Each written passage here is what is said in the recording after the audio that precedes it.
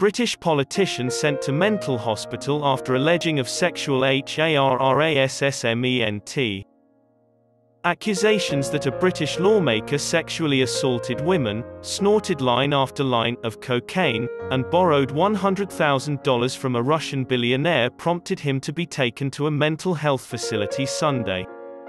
David Warburton, a Conservative MP, was expelled from the party after his wife Harriet informed The Times of Sunday that he had gone to the hospital suffering from acute shock and stress. Parliament's independent inquiry body is now looking into allegations against Warburton made in a story by the newspaper.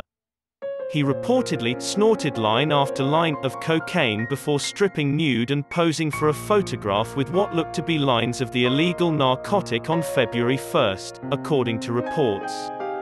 Also accused of touching the lady he met while on a drug binge is Warburton, a father of two. According to The Times, he convinced that lady to purchase him 2 grams of cocaine at a price of £160. In addition to the two women who were once assistants to the politician, the UK tabloid said that he had been accused of inappropriate touching and sexual remarks. In the House of Commons, he's been an outspoken opponent of the illicit drug trade, arguing that young people are being used by the trade.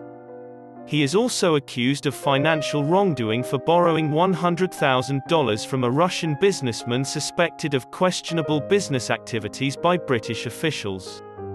Since 2015, Warburton has represented a rich rural district in southwest England. When asked about the charges, he declined to respond.